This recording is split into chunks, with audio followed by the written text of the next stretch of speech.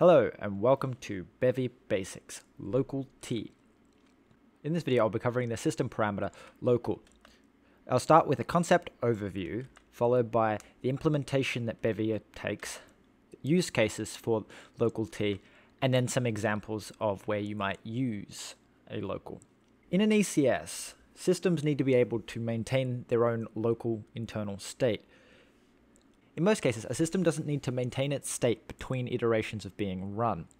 But when that is required, it is possible to create a local variable that is held and modified between frames. This variable is maintained at the system level, allowing for the same variable to be used in multiple systems without conflict.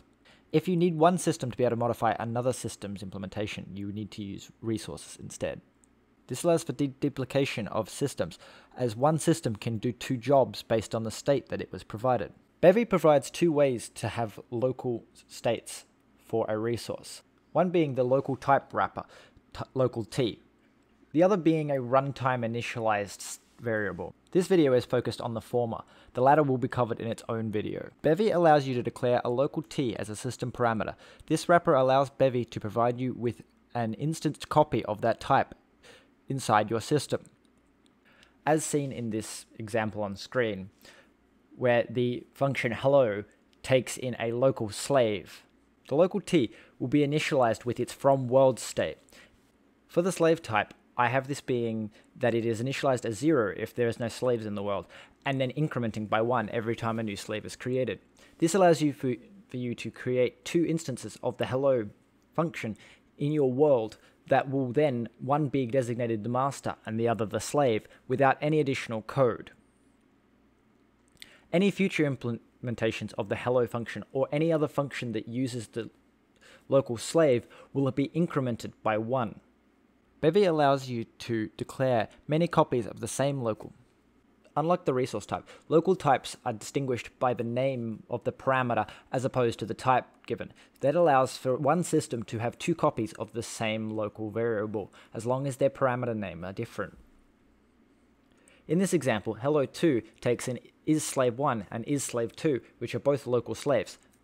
Slave 1 will be checked to see if it is the master, for slave 2 will always be a slave for master will be taken by slave 1 if it was not already taken by a different system. As seen here, the local T implementation uses the same type as the resource trait. This allows anything that can be initialized as a resource to be used as a local variable. To use a local variable, all you need to do is wrap a type in the local T wrapper provided by Bevy. As long as that type matches the criteria required, being, being static, send and sync, then the type will be initialized with its from world value. As seen here on screen where I am initializing the local slave, the slave implements its from world implementation that was mentioned earlier in the video. If a type implements default, it will automatically inherit this as its from world trait. Once inside a system, the local acts just as pointer. This allows you to treat it as the type that it wraps.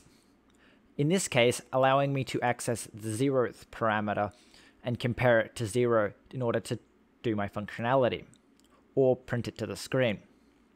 If you want to edit the value actually held by the local pointer, you need to dereference it and then equal it to the new type. This is also necessary if you want to interact with the type directly and not a parameter or, or method attached to said type, such as wrapping a local U8 or other primitive type. In this example, I'm using a local u size in order to keep track of what shape was last used. In this example, I'm using a local u size in order to keep track of the shape that is next in the function. This allows for when the user inputs their value here, that I can access the next shape by incrementing this value by 1 and modulating it by the number of values that can be selected from. This results in the function cycling through all the shapes internally without needing to keep a resource. This means that I can have multiple functions all initializing with their own local variable and not need a new type to wrap each in a resource. Okay.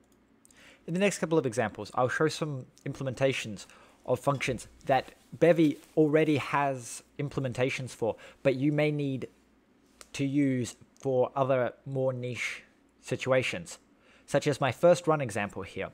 This contains a local bool that is whether this is the first run of this system. If it's not the first run, then the system will execute the, uh, some code separately than if it is the first run, and then we'll continue to execute the system as normal. This could be used to, to set up a different local that needs to be initialized at runtime or for some other reason isn't initialized from the from world. Or if the system has some kind of reset functionality that may be triggered at runtime that could reset this flag to true. Uh, specifically, it uses false because that is a default value for a boolean as opposed to true for the first system run through, which would require me to implement for world for bool as to being true. The next example uses a wrapper function around a U32 called last state, which would be some kind of hash calculating what the last state may have been for this function. And then it Bevy already provides change detection for other systems, such as a such as components on a entity. But this system, in this system, I get the last state resource and only run the system if the state has changed since the last time this system ran. This is useful for situations such in a previous game that I've created, where I was only updating the chunks that were rendered when the user moved from one chunk to another. So I stored a local copy of what chunk the user was currently standing in, and then each frame I would return early if the user had not moved chunks. This prevented any complex logic needing to be run to calculate and redraw chunks, unless the user has actively moved from one chunk to another. In this example, the state is first compared with the... In this example, the two states are compared. If they are the same, then it returns early because no changes have been made. Otherwise, the new state is set. Otherwise, the old state is overwritten with the new state and the code executes. This is useful if you have a system that is only updated like once every second, and so can maintain a local copy of the state without needing to worry about if the state is being tracked on a per frame change basis, because it has its own local copy of the changes in order to keep track of. This would mean that even if the state changed back to what it originally was, the Bevy's change function would be triggered if this frame didn't activate every single frame. Where once this system runs, it would already detect that the system has gone back to the state that it originally was and doesn't need to run some expensive update logic. Thank you for watching, and I've reached 200 subscribers, which is a huge milestone. And I hope you've all been enjoying the Bevy Basics series. Please like, comment, and subscribe if you've enjoyed the video. Hopefully they will become more consistent as I have more time to record.